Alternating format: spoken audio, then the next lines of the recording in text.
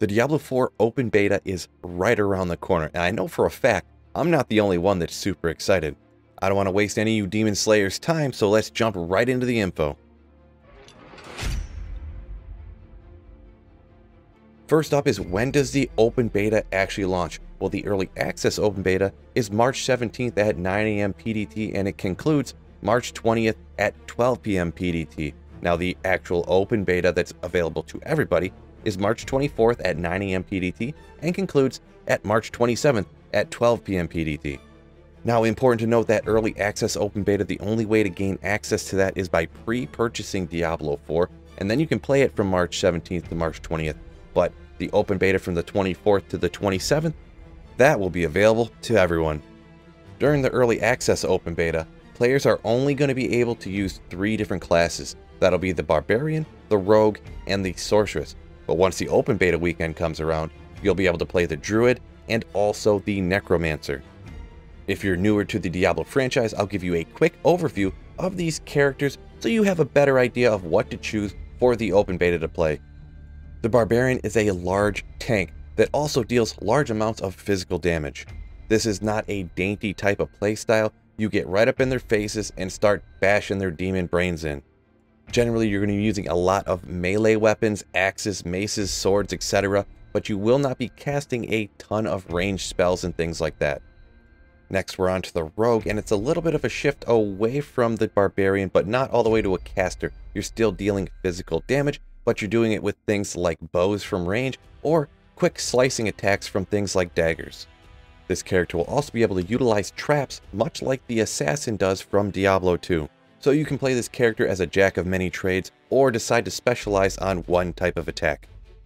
Anyone who's seen any type of fantasy game or movie is well acquainted with the Sorceress. This is essentially the polar opposite of the Barbarian. You're going to want to stay back at a distance and lob your attacks of lightning, fire, or cold at these demons.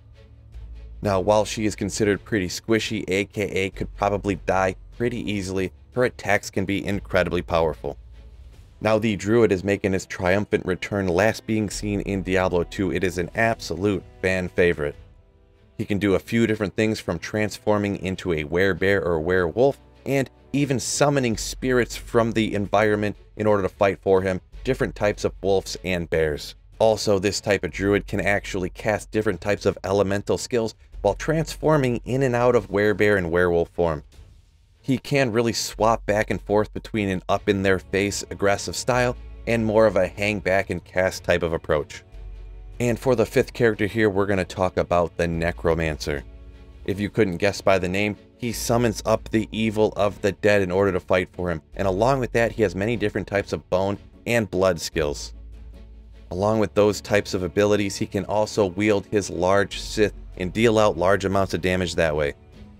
Each Battle.net account is going to be limited to a maximum number of 10 characters. So after you reach the maximum, which is level 25 with one character, you can either continue slaying down demons, or you can try a different character or a different type of build. Now the progress does transfer from early access open beta to the regular open beta, but all characters made during this weekend will be deleted once the beta ends. Now for all you daring demon slayers out there, there is actually going to be one active world boss during the open beta, stomping around at select times. During this massive world boss event, players will have to come together in order to slay this gargantuan beast. But if you do, a sizable loot drop awaits, should you be victorious. Now it wouldn't be a trip through Sanctuary if you didn't receive some unique rewards along the way. Now as you play through the open beta and the early access weekend, you can earn three open beta rewards. You will receive these rewards once Diablo 4 actually launches, so they're actually for the Diablo 4 game itself. The first one is the initial casualty title, earned by reaching Kyovashad with one character, sorry if I pronounced that wrong. Early Voyager title, earned by reaching level 20 on one character. And the Beta Wolfpack cosmetic item, earned by reaching level 20 on one character. Now I know I'm not the first one to say it, but look how cute this little puppers is. This could be the most important section of the entire video, the open beta PC specs you want to make sure your computer can actually run it before you decide to go ahead and purchase the game, right? Or before you download the open beta. Now, first up are the minimum requirements for PC.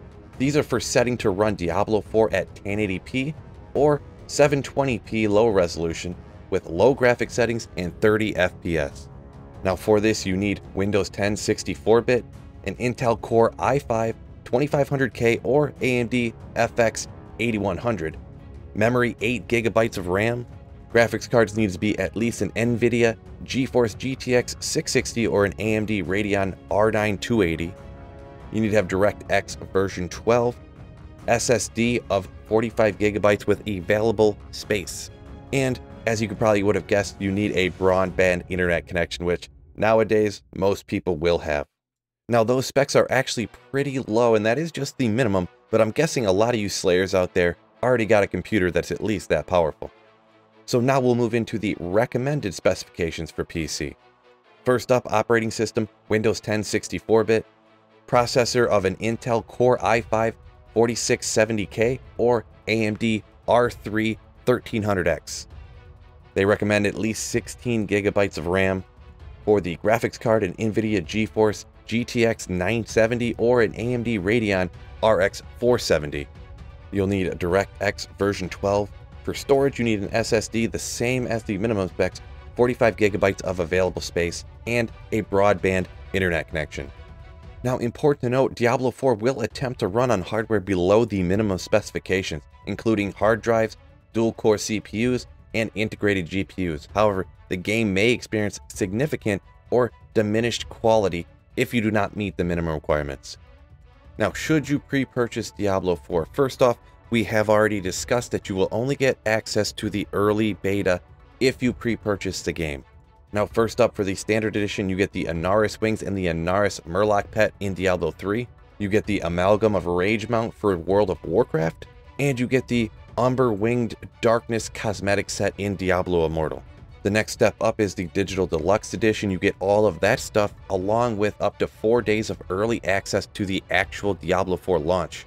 You get the Seasonal Battle Pass unlock in Diablo 4, the Temptation mount in Diablo 4, and the Hellbound Carapace mount armor in Diablo 4. And finally, for the Highest Ultimate Edition, you get all of the stuff mentioned before, along with an accelerated seasonal battle pass unlocked for Diablo 4, including a premium season battle pass, plus 20 tier skips and a cosmetic.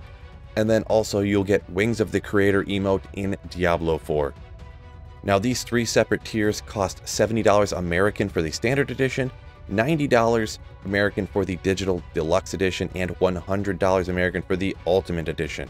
Now, since you get access to the early open beta by pre-purchasing the game, I wanted to give you all this information so you can decide whether it's worth it for you or not to go ahead and pre-purchase.